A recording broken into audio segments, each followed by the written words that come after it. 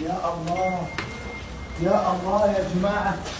يا الله أنا أنا فعلا منبهر من هذا السوق سوق بهلة التراثي هذا ناظر السوق المشرف على السوق والسوق هذا تشرف عليه وزارة الأوقاف والشؤون الدينية. تخيلوا بأن هذا السوق القديم لا يؤجر إلا للعماني والآن تقريبا كم المية؟ يؤجر يمكن 70% 70% من المحلات أجرت. تعالوا أصدمكم ماذا فعلت وزارة الأوقاف. أعطت الشاب العماني الإيجار على حسب مساحة المحل من 15 إلى 30 ريال بالشهر. ليش؟ علشان الشاب العماني يمكن نفسه أي يفتح مشروعه ينجح بعدين يكبر ويتوسع. هنيئا لكم يا أهل بهلة يا تجار بهلة يا شباب بهلة هذا السوق التراثي المميز. المميز. في قصة ما بين الوالد ناصر بن خميس العلوي وجلالة السلطان هيثم الله يحفظه. وإيش قصة هذول المحلين الاثنين اللي تم ترميمهم غير عن المحلات اللي في السوق؟ بنسمع القصة من الوالد ناصر. أبوي كيف حالك؟ الحمد لله. كيف صحتك؟ شو أخباركم؟ مرتاحين؟ كيف صحتك أبوي؟ لله. نشكر الله ونحمده. إيش قصتك مع السلطان؟ سلطان هيثمه جزاه الله خير. يوم كان وزير الثقافة والتراث نعم. يزور السوق هذا الداخلي. اللي رمموه اللي رمموه نعم. ورحت له أنا قلت له أنا عندي دكاكين ثنينه يوم سألت اللجنه قال المرحلة الثانية أو الثالثة على الداخلي. نعم. قلت له أنا عاطل عن العمل ما عندي تقاعد ولا عندي شيء. أقول له الدكاكين طايحات ثنينه أقول له اريد سيقول اللجنه وقال اللجنه هذه إن شاء الله سيشتغلون وأمر. وأمرهم. قال قال لنا أنا ممكن تجي تشوفي قال ما في مانع. وجبناه من السوق القديم. جاء جاء من السوق القديم ووقف للسوق هذا. وقف لهني. إيه الدكان هذا. عند الدكان اللي وقف إيه مع توقف الولد من وا- من هين واقف ووقف هني. جبناه زين. وقف هنا وقلنا له هذا الدكاكين قال هذا منتهيات قلنا له هذا مبنيات عام 1960 الله. يوم حياة المرحوم والدي. واريد الترميم من فضلك. قال ما في مشكلة اللجنه اشتغلوا وين؟ أمرهم بمره على طول؟ اي قالوا مسوي لهم دراسة واشتغلوا به مع ثلاثة أشهر جايوني وبجزاهم الله خير وقاشعوهن وبنيوهن من جديد ما شاء الله. الله يحفظ السلطان. اللهم آمين. واليوم انت في محلك. الله أكبر مرتاح. مرتاح. نعم. الحمد لله رب العالمين. هذا المحل هذا محله. هذا المحل. ما شاء الله تبارك الرحمن. الله يسعدك. مرتاح أبوي. الحمد لله تامرنا بشيء؟ خاطرك شيء. الله يحفظك. ومن السوق التراثي لمصنع الفخار. نوريكم كيف يصنعون الفخار خطوات صناعة الفخار. تابعوا. الخطوة الأولى يجيبون التربة مع الماء ويخلطونها هني. بعدين المرحلة الثانية مرحلة آه، التفريغ. يفرغوا الإنتاج اللي كان فوق عملية الخلط.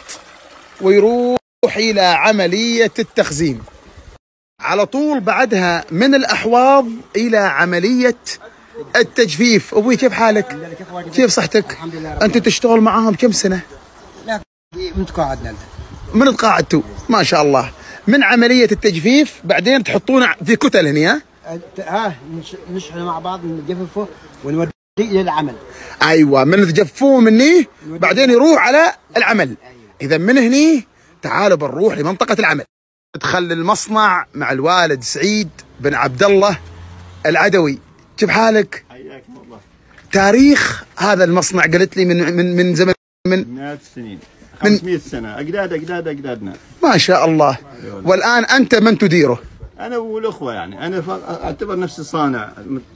أتعلم منها. ما شاء الله. تشرفتوا بزيارة السيدة الجليلة نعم في هذا المكان. بارك الله يعطيكم الصحة والعافية. ندخل. توكلنا على الله. أستاذ. الآن شوفوا ما شاء الله في كل مكان تشوف الصناعة في كل مكان الصناعة في كل مكان. هذا المصنع القديم. هذا المصنع القديم الأولاني. أيوة اللي كانوا يستخدموا الرجل يدوسوا بالرجل آه كان بالطريقة التقليدية. الطريقة التقليدية. هني. هنا.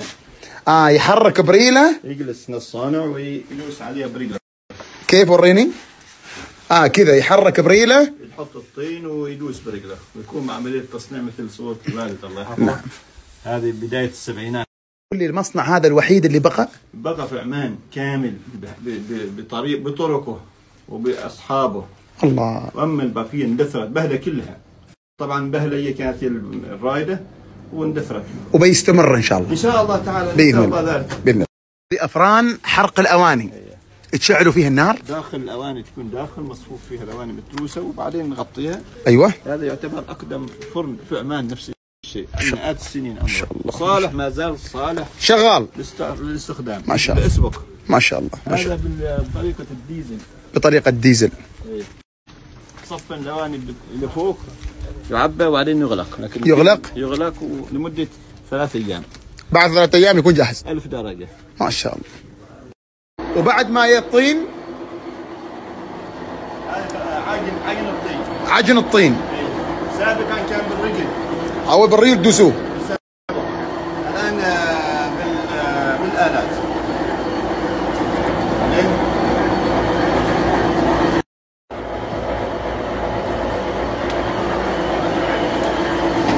الآن أخذ عملية تشكيل. عملية تشكيل. تشكيل الطينة. يلا بسم الله. من بهله صالحه لاواني الطو... اواني التبريد. اسمها مدر مدر وهذه التربة من الحمراء من جبال الحمراء. من جبال الحمراء. آه، اواني اللي هي مال الزينه والديكورات وكذا. يلا بسم الله. في تربة أخرى هذه التربة إيطالية. من إيطاليا صالحه للطبخ جايبينها من إيطاليا. من إيطاليا. هذا للطبخ واواني الطبخ. وناقر وطاقين نعم نعم نعم نعم نعم نعم. ما شاء الله ما شاء الله. يلا بسم الله الآن بنوريكم عملية تشكيل. ما جربت. إيش تريد نسوي؟ نسوي مثل هذه؟ والله نسوي إيش؟ نسوي مجمر مجمر يلا مجمر هذا المجمر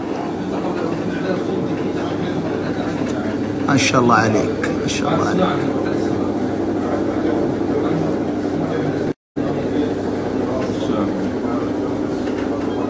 شوف عملية صناعة المجمر. في دقائق معدودة ما شاء الله تبارك الرحمن. بيجهز المجمر. عاد تسوونه بثواني وإحنا يوم انكسر ينازعونه مهادنا ما شاء الله شوفوا. شوفوا المجمر. الآن هذا المجمر. جهاز. وكم يوم يجفف؟ آه، يمكن يومين يحتاج. يومين. يحتاج يومين لأنه ما شاء الله. أشوفك دلعت مبارك. لازم. هذا مجمر مبورك ها ليش إنه من ظفار؟ هذا مجمري أنا. الله الله الله. هذا مجمر خليل. وهذا مجمر مبورك. بعد؟ بعد تكتب اسمي؟ اكت- اكتب مبورك مبورك. مبورك مبورك. ميم با. بول بس مين بقى ميم با واو راء كاف. لا م... أيوه. مبورك. يا سلام. كتبك مبروك. يلا مبروك. صانع فخار آخر. إيش تصنع؟ الحين اجهز تغطيه حال أواني التبريد. أواني التبريد. هذا إحنا نسميوها حد ترمس حد مثل الحب الصغير. طبعا ولا حاجة؟ نجهز الغطايه هذه؟ أيوه. في نفس القياسات. في نفس الق... بالضبط. صح صح صح بالضبط. تحمي عن أي حشرات ولا فعلا. طبعا التبريد ماله ولازم يكون دقيق جدا حتى قياسك. اي لازم في دقيقات المسكه المسكه ماله الحين أنت قاعد ترتب المسكة ها؟ اي رتب المسكات آه، يستخدم المسكه أي فضلات ولا حاجة؟ نعم ما شاء الله عليك. عملية تنظيف. تنظيف كامل. ما شاء الله عليك ما شاء الله عليك ما شاء الله عليك. ذاك العم وهذا ولد الأخ الآن معطينا هذه الصغيرة يتعلم فيها. كم صار لك تعلم الحين؟ تقريبا من عمر ست سنوات. من عمر ست سنوات وأنت تتعلم. ما شاء الله عليك ما شاء الله عليك. تتوقع نفسك وصلت لأي مرحلة من عشرة؟ جاهز؟ جاهز. الله الحين إيش قاعد تصنع؟ الحين كوب كوب. ما شاء الله عليك ما شاء الله عليك ما شاء الله عليك ما شاء الله عليك. شوف ما شاء الله خلاص. خلاص يعني هذا اللي إحنا نباه. الأب يعلم الابن الجد يعلم الحفيد. ما شاء الله عليك. طبعا ما نصور وخلاص لا. نصور ونعيش التجربة. ان ما تمكنا ولكن داخلنا أن جربنا وحاولنا حطينا الطين ولازم تبل إيديك. أول حاجة تبل إيديك علشان إيش؟ إيديك تكون مبلولة وأنت تشتغل في الطين شاهدوا الحين العمل. وما تم إنتاجه من هذا المصنع يأتي إلى العرض هنا. وهذا تشجيع أيضا أنكم أتيوا وتشتروا وت تقتنوا آه، يعني هذه التحف آه، الجميلة من صناعة عمانية مية بالمية. فندعوكم لزيارة هذا المتجر وشراء من هذه المقتنيات. الله يسعدهم ويحفظهم يا رب إن شاء الله.